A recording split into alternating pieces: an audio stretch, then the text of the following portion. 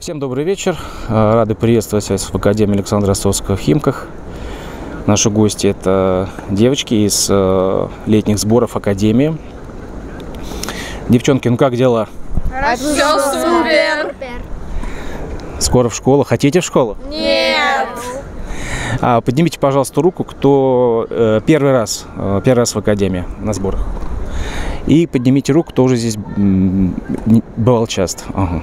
Ну, давайте проверим тогда ваши знания про Академию. Скажите, в каком году Академия открыла свои стены? В 2011 году она открылась, и в этом году ей будет 13 лет. Браво, молодец. Самая знаменитая ученица Академии? Анастасия Потапова.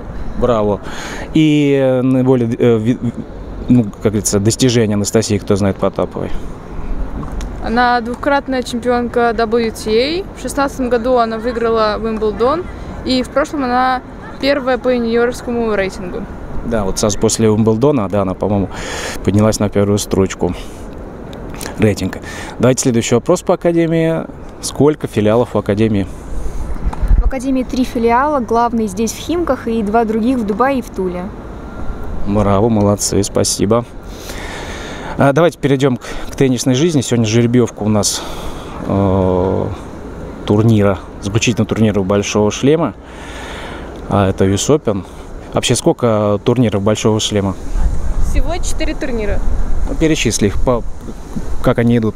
Э, по порядку? Э, по порядку не скажу. Ну хорошо, дайте я помогу. Австралиан Open, потом Ролан Гарос, да, на стыке мая и июня в начале июля Умблдон. Вот, и сейчас вот открыт чемпионат США, да, US Open. Какой, на ваш взгляд, самый, ну, самый такой престижный турнир какой? Уимблдон. Ага, а назовите хотя бы 3-4 традиции умблдонских. Белая одежда. Э, присутствие монарха на финальной игре. Клубника, со сливками. Обязательно на трибунах. И еще одно. Трава. Вода это единственное. Еще я могу сказать, в продолжении темы, э, две недели турнира, вот средний, середина воскресенья, э, по традиции там выходной день. На всех, на всех остальных турнирах там э, ну, день рабочий, игровой, скажем так. Давайте пересечемся буквально в понедельник, где стартует. Как вы думаете, кто из мужчин россиян и женщин россиянок лучше всего выступит на турнире US Open? Я думаю, лучше всего выступит э, Медведев. И давайте э, на женщинах поставим на Миру Андрееву.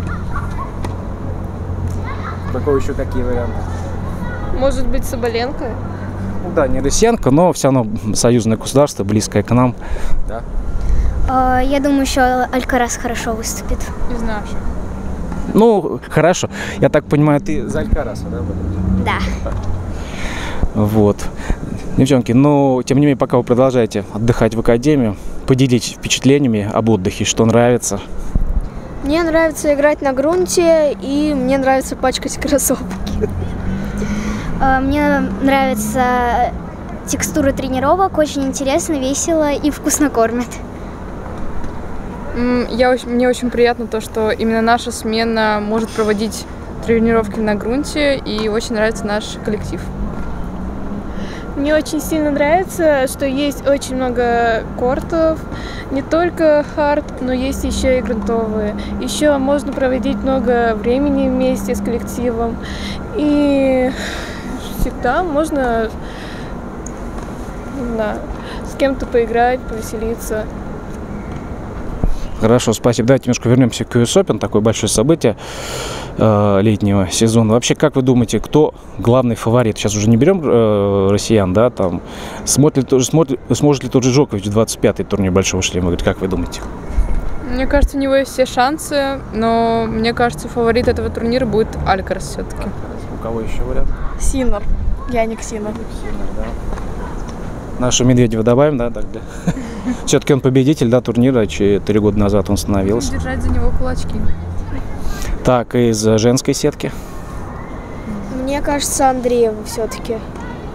Ну, из русских Андреева. Это из русских, а вот вообще фаворит? Соболенко. Ну, может быть, фаворитка еще Швенток. Первая ракетка мира, да, и, и, и флаг в руке, скажем так. Вот, ладно, девочки, спасибо большое за интервью. Рады, что вы у нас в Академии. Будем ждать вас э, в гости в следующий, в следующий год. Спасибо. Спасибо. До свидания. До свидания. До свидания.